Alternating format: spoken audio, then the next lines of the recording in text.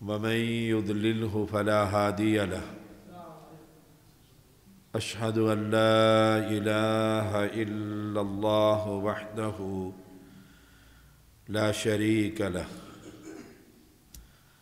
وأشهد أن محمدا عبده ورسوله. أما بعد فإن خير الحديث كتاب الله. وخير الهدي هدي محمد صلى الله عليه وسلم وشر الأمور محدثاتها وكل محدثة بدعة وكل بدعة ضلالة وكل ضلالة في النار اللهم صل على محمد وعلى آل محمد كما صليت على إبراهيم وعلى آل إبراهيم. إنك حميد مجيد. اللهم بارك على محمد وعلى آل محمد.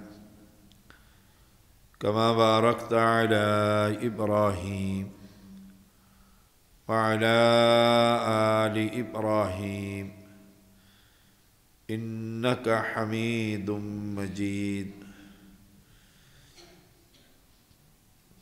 فأعوذ بالله السميع العليم من الشيطان الرجيم. أقيموا الصلاة وآتوا الزكاة واركعوا مع الراكعين. تعریفوں کے لائق اللہ ہی کی ذات ہے۔ جس کا کوئی شریک نہیں۔ ساری کائنات کا نظام وہ اکیلا ہی چلاتا ہے۔ جو چاہتا ہے، اسے کسی سے مشورے کی ضرورت نہیں۔ ایسا بادشاہ ہے، رات کو لمبا کر دے، دن کو چھوٹا کر دے، اور دن کو لمبا کر دے، رات کو چھوٹا کر دے، اس سے کوئی پوچھنے والا نہیں۔ تعریفیں اس بادشاہ کی۔ ان گن درود و سلام محمد الرسول اللہ صلی اللہ علیہ وسلم پر۔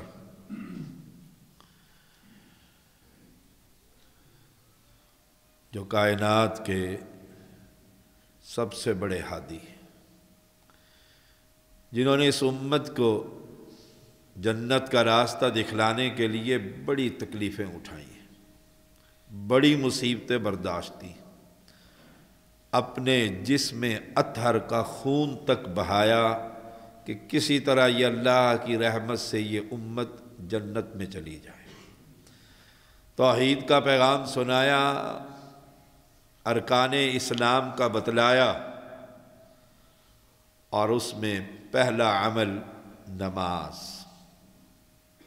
آپ صلی اللہ علیہ وسلم زندگی کے آخری ایام میں بھی جب ہوش آتا ہے تو فرماتے ہیں الصلاح نماز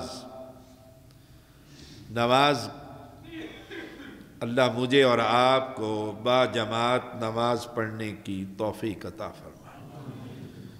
ہر مسلم پر فرض، پانچ وقت کی با جماعت صلاۃ الجماع پانچ وقت کی یہ نماز ہر مسلم پر فرض ہے۔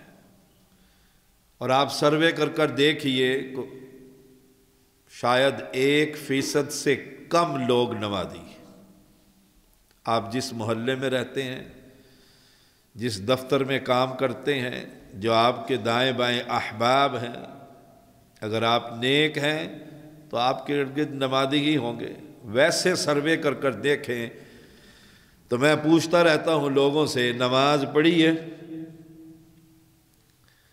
نماز پڑھی ہے؟ نہیں۔ کل پڑھی تھی؟ نہیں۔ زندگی میں نماز پڑھی ہے؟ سبحان اللہ۔ زید بن ثابت رضی اللہ تعالیٰ بیان کرتے ہیں، ان النبی صلی اللہ علیہ وسلم اتخذ حجرتا فی المسجد من حسیر آپ صلی اللہ علیہ وسلم نے چٹائی کا ایک حجرہ سا بنا لی چٹائی ایسے لگا کر مسجد میں ایک جگہ بنا لی۔ فصلہ رسول اللہ صلی اللہ علیہ وسلم فیہا لیالیہ۔ آپ رات کو اس میں نماز پڑھنے لگے۔ پیغمبر علیہ السلام کا دیکھیے گا نماز۔ اور پھر آج کے خطبے کے بعد ہم سب، میں اپنے آپ کو اور آپ اپنے آپ کو انالیسز کیجیے گا۔ ہم نمازی ہیں۔ پیغمبر علیہ السلام نے رمضان کی راتوں میں ایک حجرہ سا بنایا، ایک مسجد کے اندر۔ چھوٹا سا اور اس میں اللہ کی عبادت، نماز۔ صحابہ نے دیکھ لیا، حتی اجتمع الیہ ناس۔ لوگ جمع ہو گئے۔ لوگ جمع ہو گئے۔ نماز پڑھنے لگ گئے آپ کے پیچھے۔ رمضان کی راتوں میں وہ فرض نماز نہیں تھی کمرے کے اندر الگ۔ وہ تو نفلی عبادت تھی رات کی۔ جسے آپ قیام اللیل کہہ لیں تحجد کہہ لیں تراوی کہہ لیں، آ رہا ہے مہینہ رمضان المبارک۔ اللہ ہماری صحت اور ایمان کے ساتھ زندگیوں میں ہمیں نصیب فرمائے۔ حت تجتمع الیہ ناس۔ لوگ جمع ہو گئے، پھر ایک کو خبر ہوئی، دوسرے کو ہوئی، تیسرے کے ہوئی۔ کہ نماز پڑھ رہے ہیں رسول اللہ صلی اللہ علیہ وسلم، چلو پیچھے۔ آپ صلی اللہ علیہ وسلم نے بھی دیکھ لیا کہ کثرت سے لوگ آ رہے یہ تو نفلی نماز۔ ہم فرد ہی نہ پڑھے پوچھو اس سے، تمہارے پیغمبر کا نام کیا ہے؟ تو کہے گا محمد صلی اللہ علیہ وسلم۔ آخری پیغمبر پر ایمان رکھتے ہو جی میرا ایمان ہے، میں کوئی مرزائی ہوں، میں مسلمان آدمی ہوں۔ کلمہ پڑھتے ہو ہاں پیغمبر نے زندگی میں کوئی ایک نماز چھوڑی؟ ہمارا نام بھی محمد ہے، ابو بکر ہے، عمر ہے، عثمان ہے، علی ہے۔ پیغمبر نے زندگی میں، سبحان اللہ کوئی ایک نماز چھوڑی ہو اور میں دن میں کتنی چھوڑ دیتا ہوں؟ صحابہ نفلی نماز کے لیے جمع ہو رہے ہیں۔ رات کو نماز ہوتی ہے۔ اچھا اجتماع ہو گیا۔ آپ صلی اللہ علیہ وسلم نے اندازہ لگایا، ثم فقدوا صوته لیلتا۔ ایک رات نبی اکرم صلی اللہ علیہ وسلم کی آواز ہی نہ آئی۔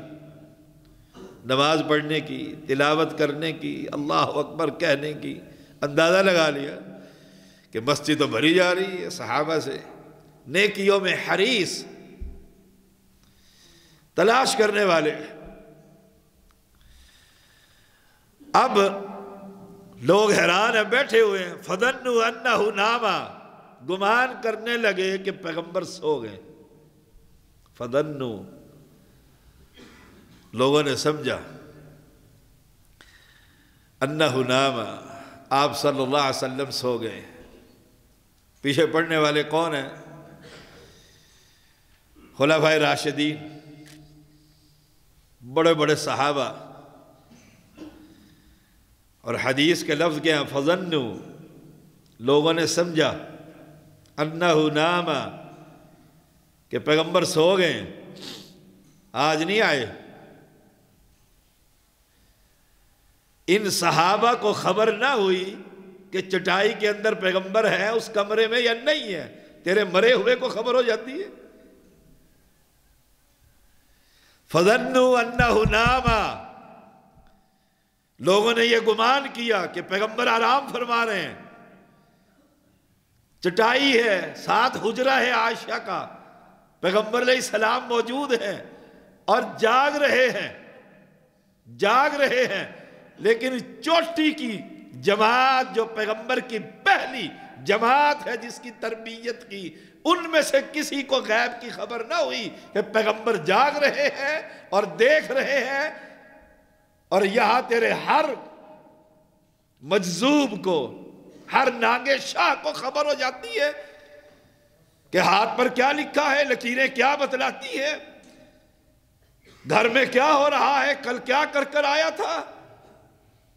فدن نام۔ وہ کہتے ہیں، ہم نے سمجھا، پیغمبر آرام فرما رہے آج نہیں آئے۔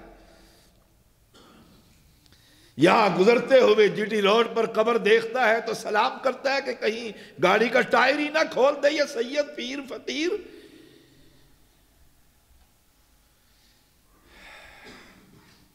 پیغمبر نے بڑی توحید پر محنت کی ہے۔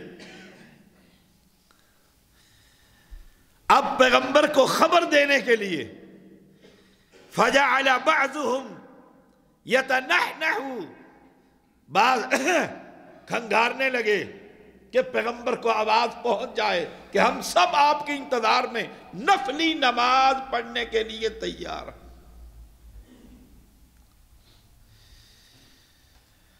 گویا سب کا عقیدہ یہ ثابت یہ ہوا کہ کوئی صحابی بھی ایسا نہیں جو یہ عقیدہ رکھتا ہو کہ پیغمبر کو غیب کی خبر جبھی تو کھانس رہے ہیں۔ جبھی تو کھنگار رہے ہیں۔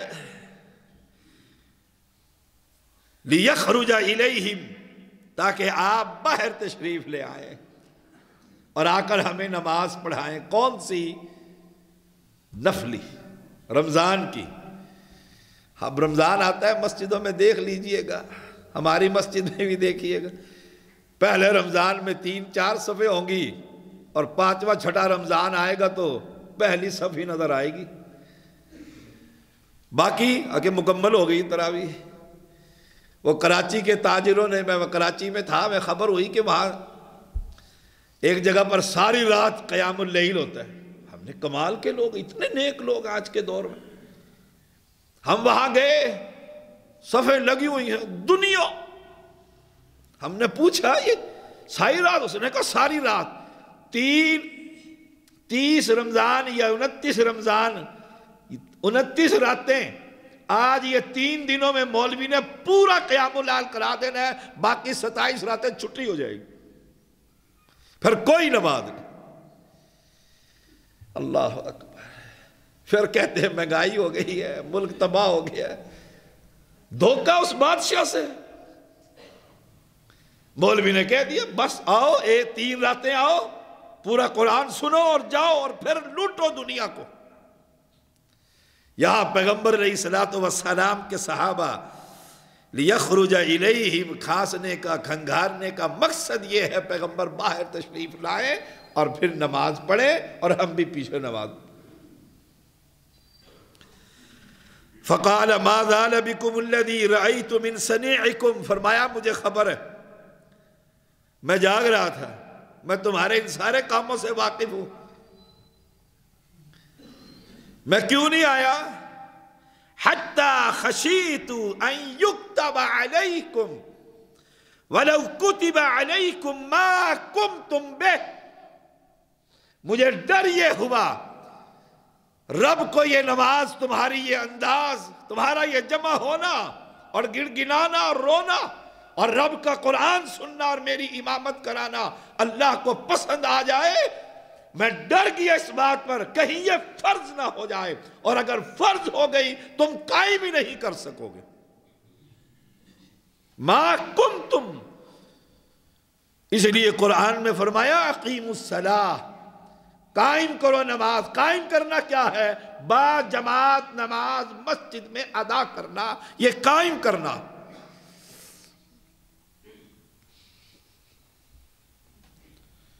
کہا مجھے ڈر ہوا ہے، یہ کہیں فرض ہی نہ ہو جائے۔ اور اگر فرض ہو گئی، تو پھر تم پڑھ ہی نہیں سکو گے، قائم ہی نہیں کرو گے، کیونکہ فرض ہی نہیں پڑھتے۔ امت کی اکثریت فرض ہی نہیں پڑتی۔ قیام اللیل میں تو کوئی نیک آدمی گھر میں قیام کرتا ہے یا کوئی مسجد میں کرتا ہوتا ہے۔ آپ اپنے محلے کی مسجد میں اندازہ لگا لیں، سروے کر لیں، ایک کونسلر کے کتنے ووٹر ہیں اور پھر ان میں اندازہ لگائیں نمازی کتنے، مسجد میں کتنا قیام کرنے والے۔ میں فرض نماز کی بات کر رہا ہوں۔ نوافل تو پڑھتے ہیں، کوئی نصیبے والا۔ جس کی اللہ سے کوئی دوستی ہوتی ہے۔ یہ تو اس کے حصے کا ہے۔ اور ہم فرض ہی ادا نہ کریں۔ فرض کو کہتے ہیں، مجھے کام ہے۔ اور اگر ابھی روح نکل جائے، وہ ساری فیکٹری تیرے بغیر چل رہی۔ وہ ساری مسجد کا نظام میرے بغیر چل رہا۔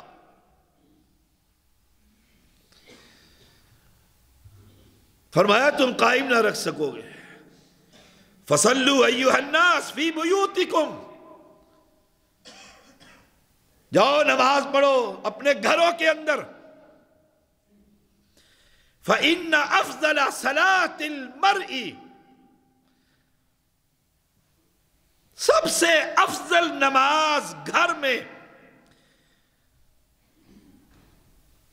صلاة المرء في بيتي گھر میں۔ إلا الصلاة المكتوبة سوائے فرض نماز کے۔ سوائے فرض نماز کے۔ فرض نماز ہی ہم نے چھوڑ دی ہے۔ نفلیں اپنے گھروں میں جا کر ادا کرو۔ نوافل اپنے گھروں میں پڑھو۔ اب وہ ڈر تو ختم ہو گیا جو حتیٰ خشید پیغمبر کو تھا۔ فوت ہو گئے سریت مکمل ہو گئی۔ اب وہ تراوی ہم اس لیے پڑھتے ہیں۔ یہ تو ضمن ایک بات کہ مرد کی نماز سلاط المری فی بیتی ہی نفل۔ سلام پھیرو اور جمعے کے دن سارے چلے جاؤ۔ صحیح بخاری ہے۔ گھر میں جاؤ تو دو رکھتے پڑھو۔ کم کر دیے تاکہ گھر کے اندر اللہ کا ذکر ہو۔ اور اگر مسجد میں پڑھنا چاہتے ہو، فرضوں کے بعد پھر چار رکھتے ادا کرو۔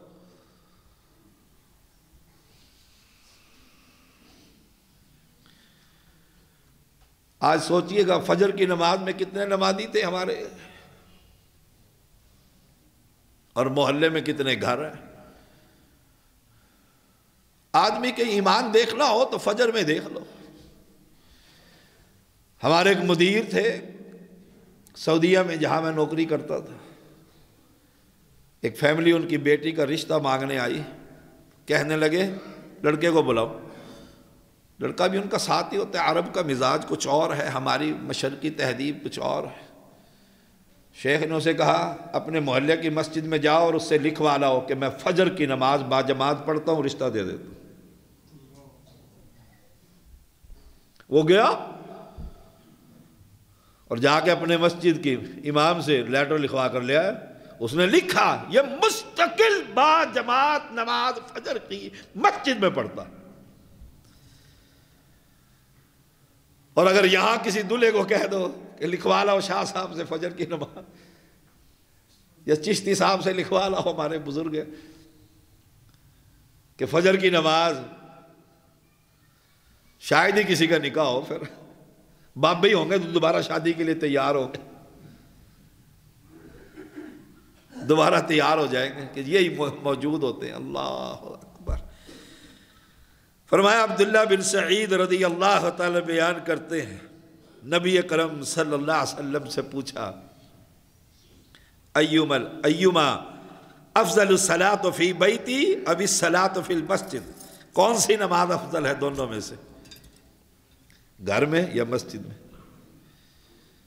گھر میں یا مسجد میں؟ سوال ہے۔ ہم تو مسلح دکان پہ بچھا لیتے ہیں۔ تین چار ملازم رکھے ہوئے ہیں، وہ کہتے ہیں جماعت ہو رہی ہے جی کوئی بے جماعت ہے، نماز پڑھ، مسجد کس لیے بنائی؟ مسجدیں کس لیے ہیں؟ جگہ جگہ پر مسلح قائم کرنے ہیں تو مسجدیں کس لیے؟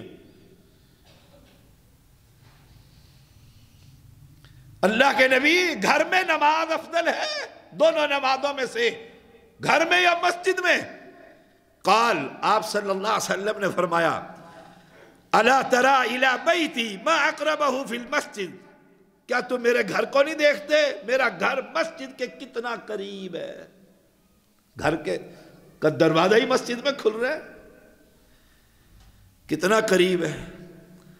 فلا ان اسلی فی بیتی احب الی من ان اسلی فی المسجد۔ اس کے باوجود مجھے نفلی نماز نفلی نماز مسجد کی بجائے گھر میں پڑھنا زیادہ محبوب ہے۔ اللہ ان تکون صلاة مکتوبہ سوائے فرض نماز کے۔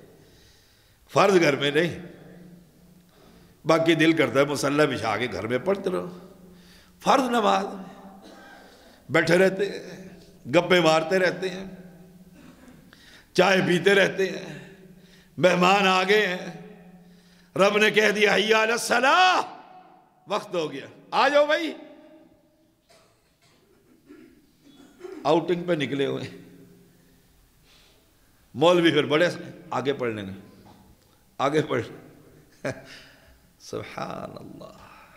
فرد نماز۔ اذان ہو جائے۔ پیغمبر علیہ السلام گھر کے اندر اور امی عائشہ فرماتی ہیں اذان ہو جاتی، پہچانتے بھی نہیں کہ عائشہ کون ہے، صفیہ کون ہے، حفصہ کون ہے، باپ۔ ادان ہو گئی ادان ہو جاتی اور ہم اچھا یہ کام کر لیں۔ اور ابلیس کہتا، پندرہ منٹ کا وقفہ ہے شاہ صاحب کی مسجد میں۔ آرام سے کر، تسلی سے کر۔ وہ لگتا ہے کہ لگتا ہے، اوہ، جماعتیں نکل گئی جماعتیں نکل گئی اسے کہتا ہے کوئی نہیں کوئی نہیں کوئی نہیں۔ دوسری کرا لیں۔ دوسری کرا لیں گے۔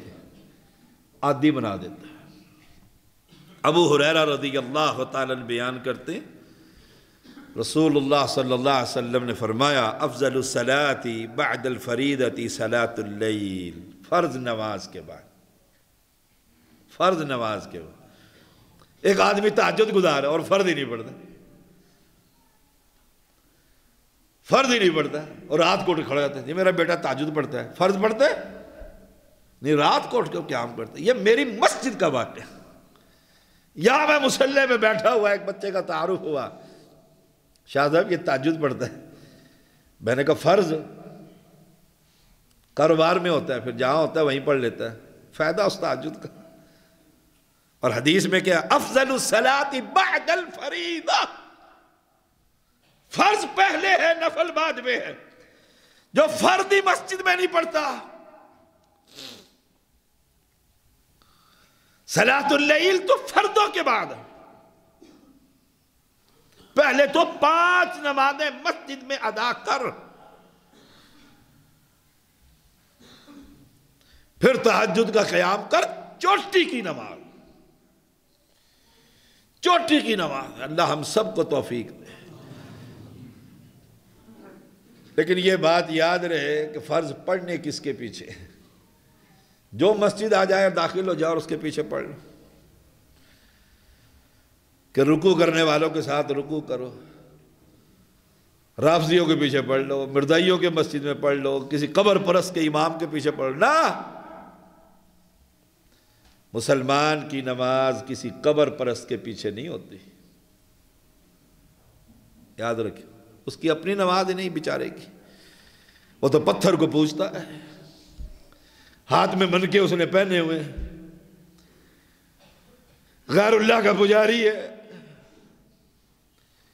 گولڈے کی عبادت کی دعوت دیتا ہے۔ اور میں جا کے اس کے پیچھے رواداری کا ہوں۔ اپنا ایمان کیوں خراب کرتا ہے؟ فرض نماز پڑھ، لیکن امام دیکھ کون ہے؟ دیکھ لو۔ ڈرائیور کو آپ کو پتہ ابھی دیکھو نا۔ زلزلہ ہی آ جائے۔ ابھی آیا تھا نا دو چار دن پہلے، نماز میں تھے، ہم تشاہد میں تھے۔ میں جب پہنچا شہد اللہ الہ، مسجد ہل گئی۔ میں نے اونچا پڑھا اشہد اللہ الہ۔ کیا پتہ گر جائے تو کلمہ تو زبان سب نے پڑھا پھر نمازیوں اور اگر تھوڑا سا تیز ہو جاتا، سلام پھیرنے کے بعد شاید نہ میں ہوتا، نہ آپ ہوتے۔ اور مسجد سے باہر۔ اور پچھلی دفعہ تو ہمارے قاری صاحب نے پہلے دوڑ لگائی سلام پھر کے۔ وہ گئے، میں نماز نہیں پڑھا رہا تھا۔ زلزل آیا تو امام نے سلام پھر اور ہو گیا۔ مقتدی بھی گئے۔ کیوں؟ جان بچانی۔ اور امام کوئی بھی ہو، ایمان نہیں بچانا۔ کہ نماز ایمان ہے۔ اور جس کے پیچھے پڑھ رہا ہوں، وہ قبر پرست ہے۔ وہ تو تعویذ بیچتا ہے۔ اس کے پیچھے نماز۔ مومن کی نماز مومن کے پیچھے، مواحد کی نماز مواحد کے پیچھے۔ یہ نہیں کہ ہر مسجد میں جا کر سجدے دے مارو کہ رکو کر رہے ہیں۔ وہ تو ایسا رکو کرتے ہیں اور کروائیں گے آپ کو۔ ایک آدمی آ کر مجھے کہتے، شاہ صاحب، میں ایک جگہ پر پھنس گیا تو وہاں نماز پڑھی۔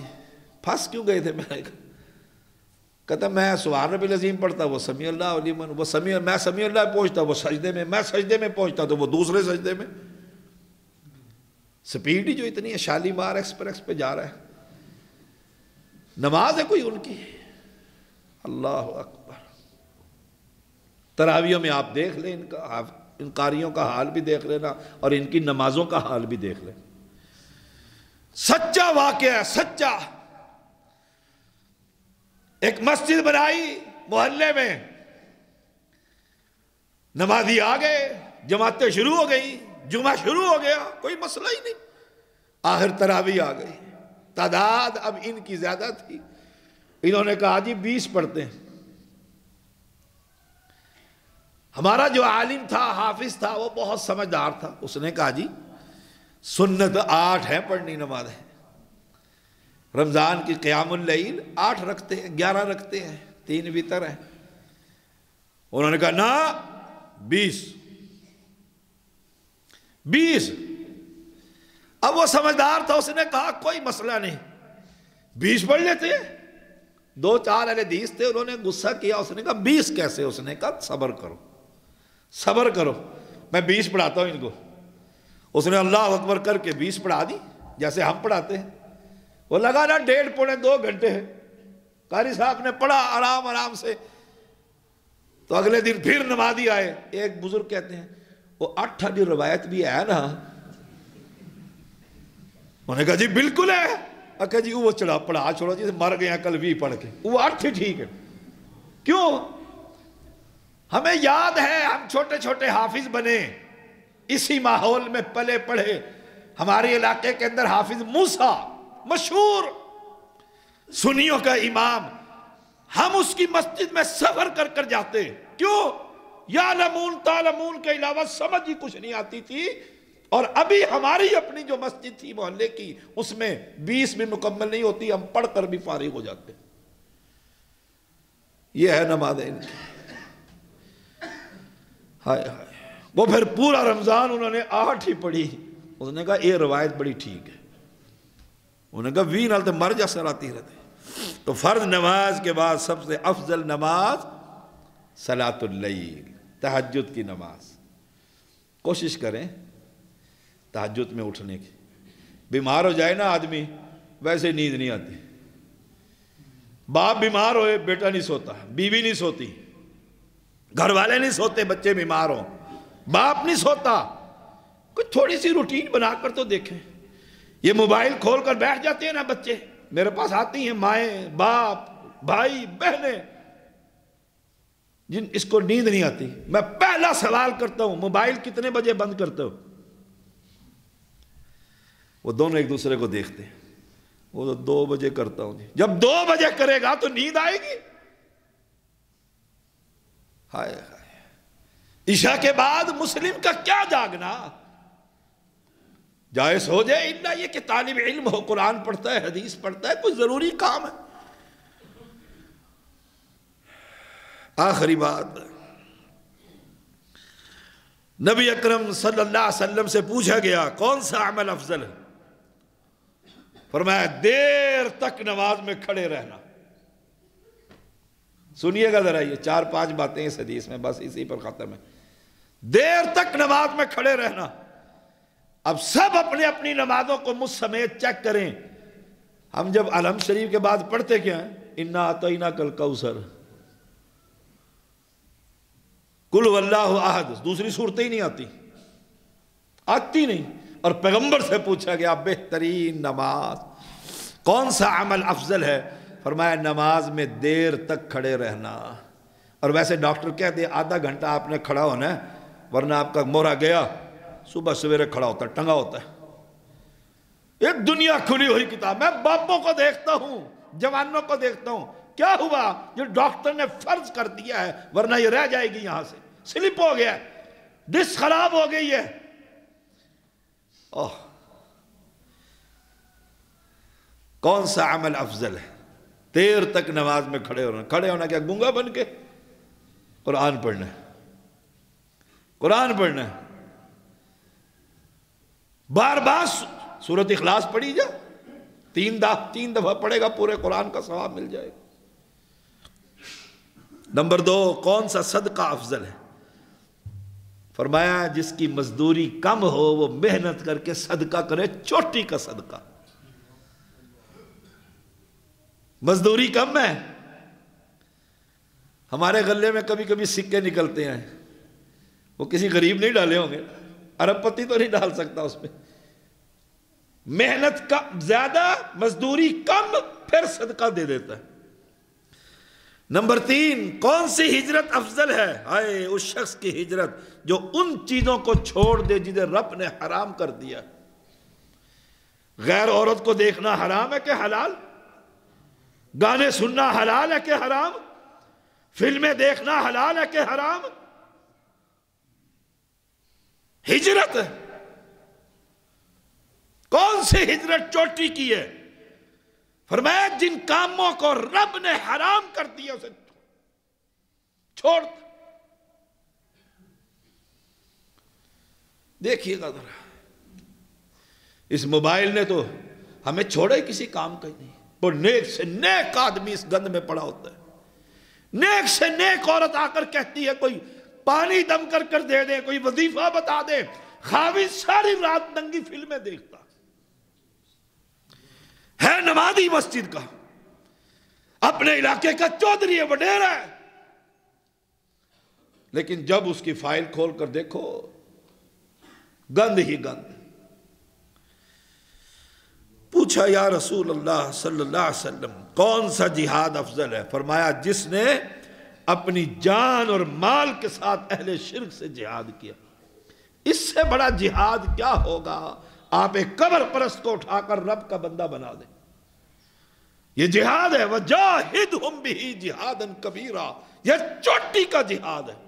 کشمیر اور ان جہادوں سے افضل جہاد یہ ہے، کسی گول لڑوی کو یہاں سے قبر سے ہٹا کر مسجد میں رب سے مانگنے والا بنا دے کہ اس سے مانگ، وہ نہیں سنتا، نہیں دیتا۔ برادری ناراض ہوتی ہے۔ دفتر والے ناراض ہو جائیں گے، بھائی مولی بن گیا تو چودھری، سلمان اپنا مذہب مسلک اپنے پاس رکھا۔ میں نہ کچھ کہہ ہم پیروں کو ماننے والے کون سا قتل افضل ہے؟ فرمایا، جس کے ہاتھ اور پاؤں کاٹ دیے گئے کون سا قتل افضل ہے؟ اللہ کی راہ میں جس کا خون بہایا گیا ہو اور جس کے سواری کا جسم کاٹ دیا گیا آخری بات۔ کیل علی نبی کہا گیا نبی اکرم صلی اللہ علیہ وسلم سے، کون سی نماز افضل ہے؟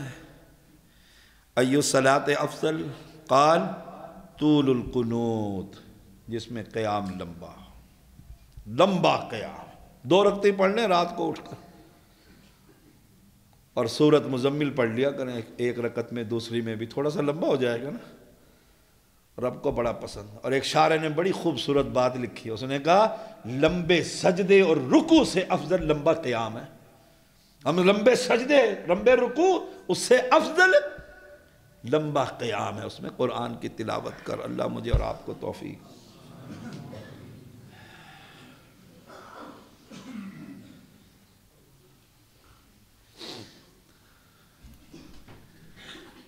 الحمد لله نحمده ونستعينه ونستغفره.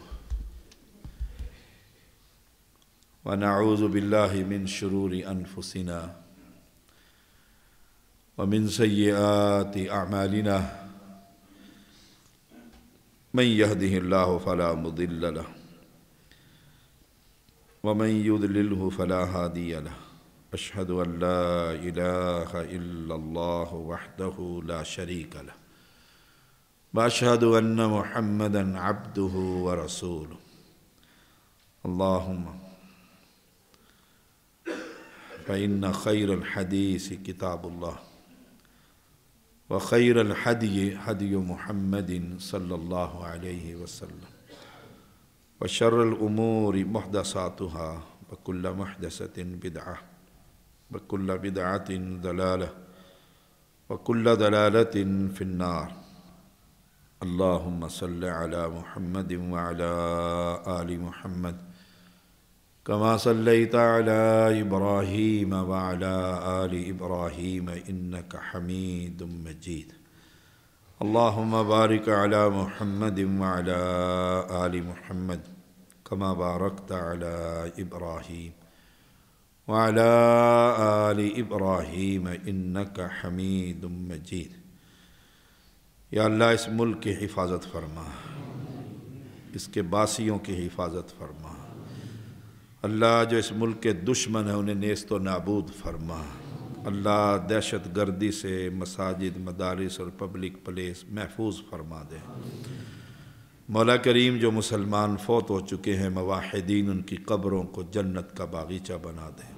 مولا ہم سب کے والدین جو مواحدین تھے، اللہ سب کی قبروں کو جنت کا باغ بنا دے۔ مولا کریم بیماروں کو شفا عطا فرما۔ بحریہ ٹاؤن سے ہمارے گل چیمہ صاحب بڑے بیمار ہیں، دعا کی درخواست ان کی آئی ہے، اللہ انہیں صحت عطا فرما۔ اللہ اہل علم کو صحت عطا فرما۔